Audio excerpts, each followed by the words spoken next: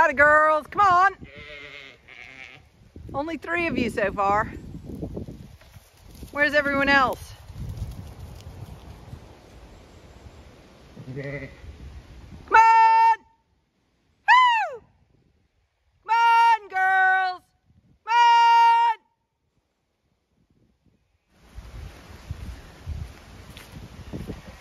Come on! Girls! Come on! Flippin' heck.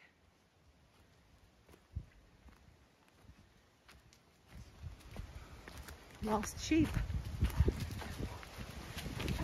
Those three are going to be gluttons and they're going to eat way too much.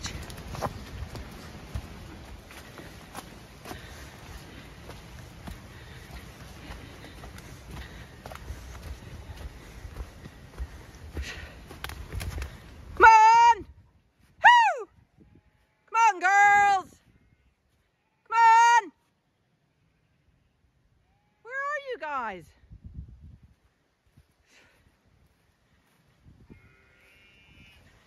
Come on! Woo! Come on, girls! You're all sheltering.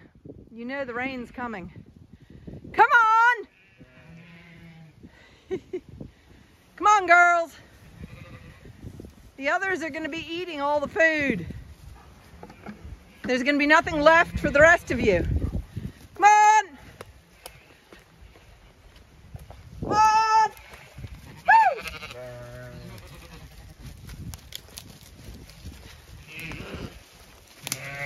Come on! Come on!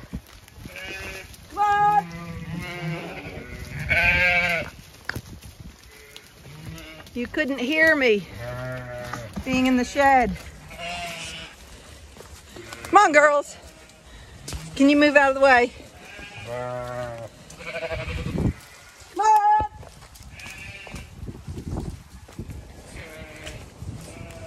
Come on! Come on! Suddenly they remember.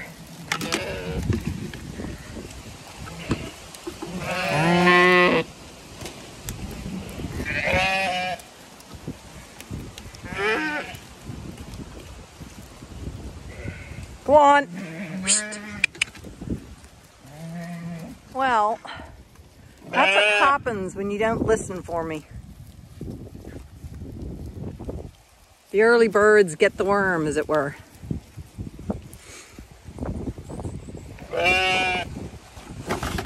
Nope, those are empty.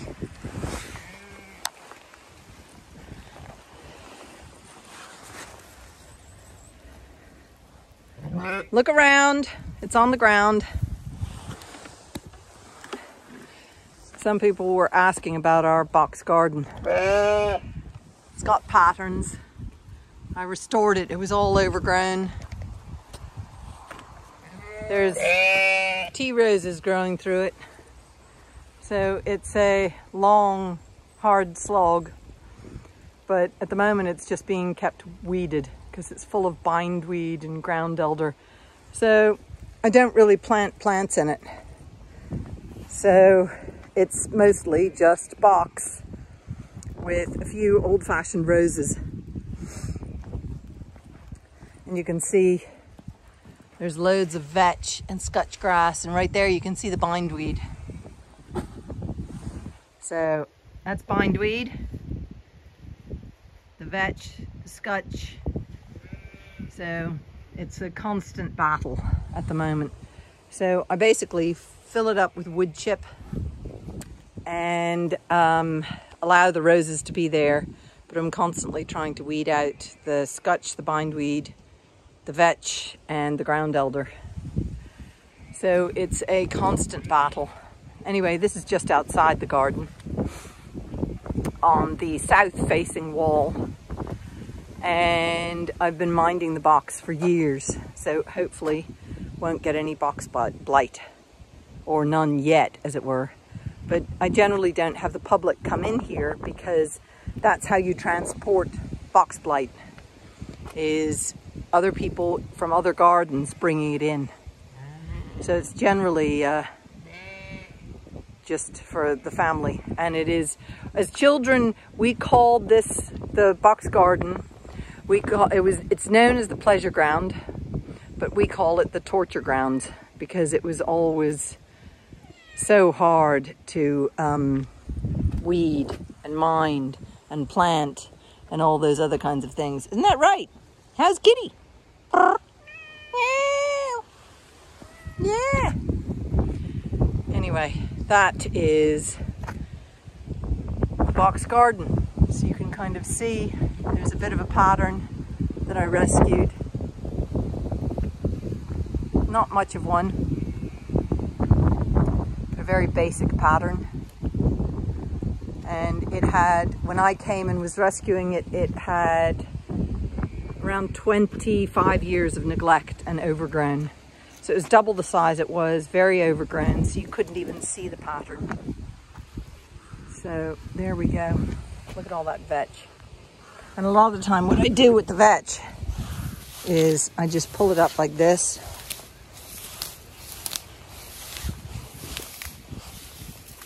So I'm weeding the vetch out. And you go like that. And a sheep will hopefully eat it.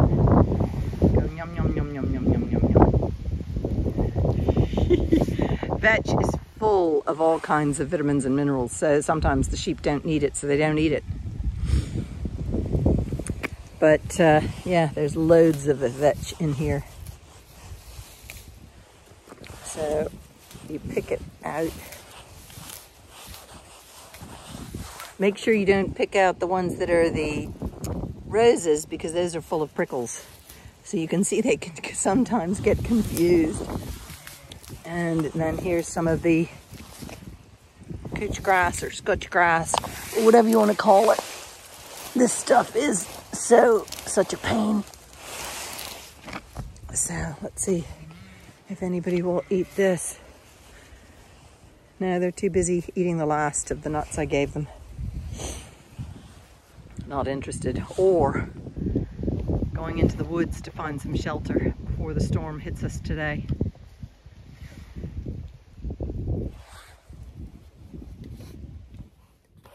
Look at you. Okay, now.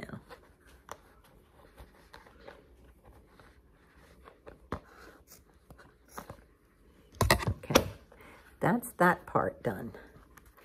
Now, how do we get the rest of it open? Hmm? I know. I know. You want it off.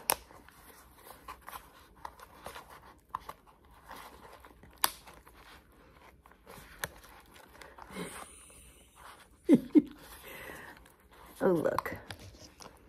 Yeah, I know.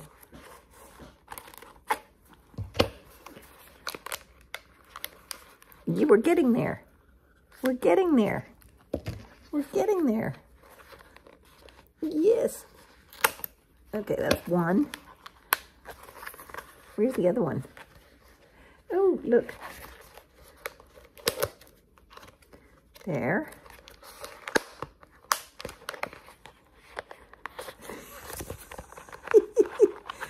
oh, puppers. We're getting there. Yes. Okay, I can see where I can chop this there.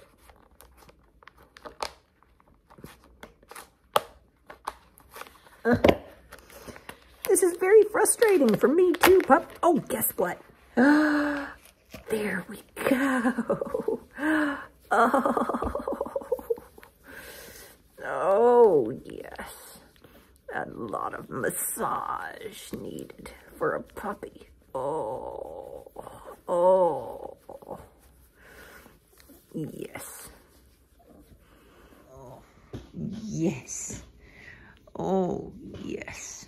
Oh, yes. Shall I let you down now? Oh. There. Is that feel good? Does that feel good? You're released. Oh, pup. oh, pup.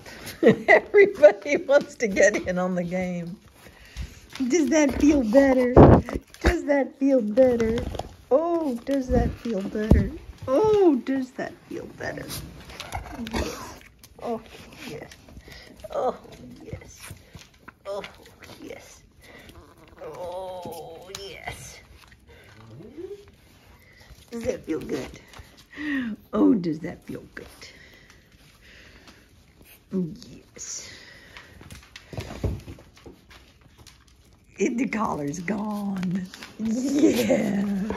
Oh, the collar is gone for small puppies. Yes. Yes. You a happy pup. You're such a happy pup. Mean, you're jealous, and you're jealous. Everybody's jealous.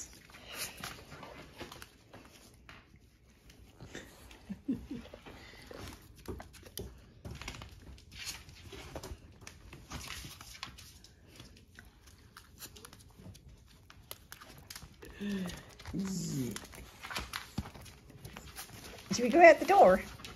You can run around without your collar on. Come on, let's go out the door. Come on, pups. Come on. Come on. Are you gonna come out? Come on. Come on. Are you coming? Not much rain at the moment. There you go. He's so clever.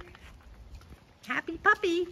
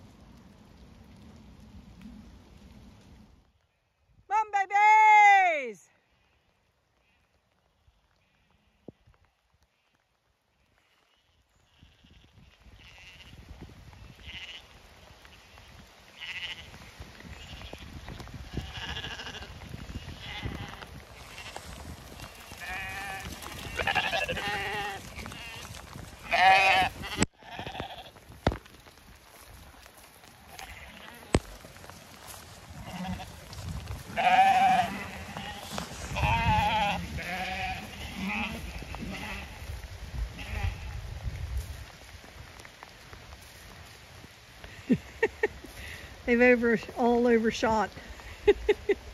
A few of them are coming up to the first one.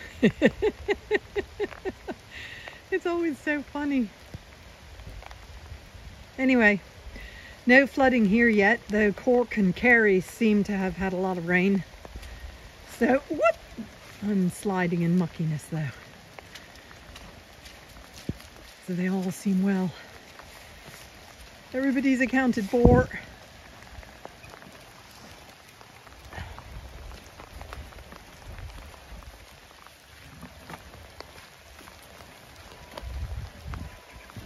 Are you nervous of me in my raincoat and headgear? They're not used to seeing me in my billowy raincoat. See, I look scary in my raincoat. So they're not used to seeing me in this. It's a new raincoat too. So one has to get these things. My old raincoat was shredded and the zip didn't work anymore. Mind you, I don't have the zip up at the moment, but you never know. Later in the year, I will, in the winter, I'll probably want the zip to work. Okay, come on, Storm Beatrice. We're fine down here. No flooding yet, yet, yet. Everybody else in here has had their meal. Isn't that right? You had your meal. Yeah. You good girl feathers. And the horses as well. I'm to go back inside. So I was just checking on everybody before it got dark. It's very mucky underfoot. Mucky, mucky, mucky. Isn't that right? Miserable dog. You're the only one who came out. You good girl. You're so loyal. Well, mind you, Incas, there is, these two are in here.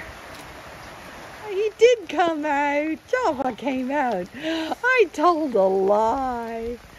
He doesn't have his collar anymore. He's so happy.